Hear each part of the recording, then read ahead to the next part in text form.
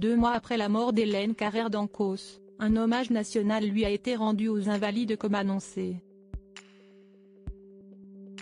Ses trois enfants réunis avec leur père étaient présents pour cet honneur présidé par Emmanuel Macron, accompagné de la première dame Brigitte. L'hommage national prévu pour l'historienne Hélène Carrère d'Ancos, morte le 5 août 2023 à l'âge de 94 ans, a eu lieu en présence d'Emmanuel Macron ce mardi 4 octobre.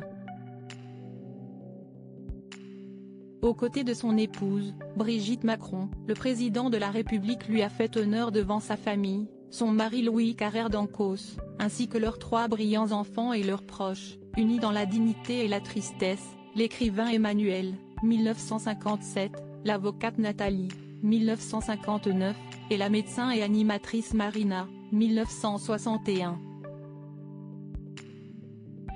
Cette dernière, s'intéressant au sujet de la fin de vie, n'avait pas caché son émotion face à la disparition de son illustre mère,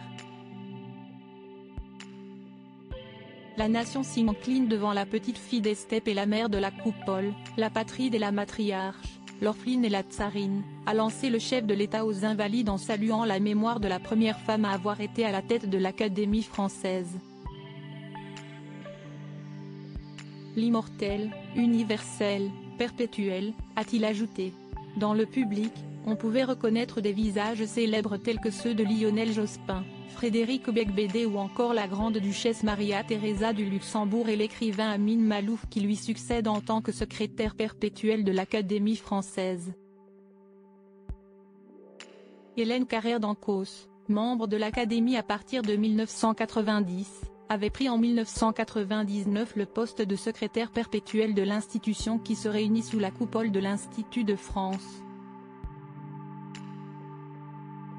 Son successeur, l'écrivain franco-libanais Amin Malouf, était présent à cet hommage ainsi qu'un grand nombre d'académiciens.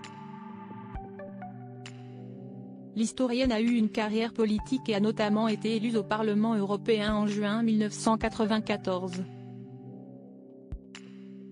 Grande spécialiste de la Russie, elle a écrit plusieurs biographies dont celle de Lénine, Staline ou Catherine II. Hélène Carrère d'Ancos et la Russie, une histoire intense fille d'un philosophe géorgien émigré en France, elle était vue jusqu'au déclenchement de l'offensive russe en Ukraine en février 2022 comme indulgente vis-à-vis de Vladimir Poutine. Le président russe a dit, à sa mort, espérer que son héritage aiderait à améliorer les relations entre Moscou et Paris. Emmanuel Macron est revenu sur ce qui était son credo, le caractère européen du destin de la Russie.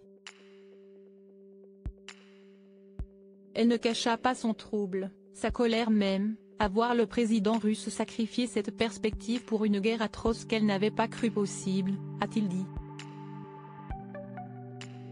Ce fossé sanglant creusé entre l'Europe et la Russie lui passait en plein cœur, écartelant sa propre histoire.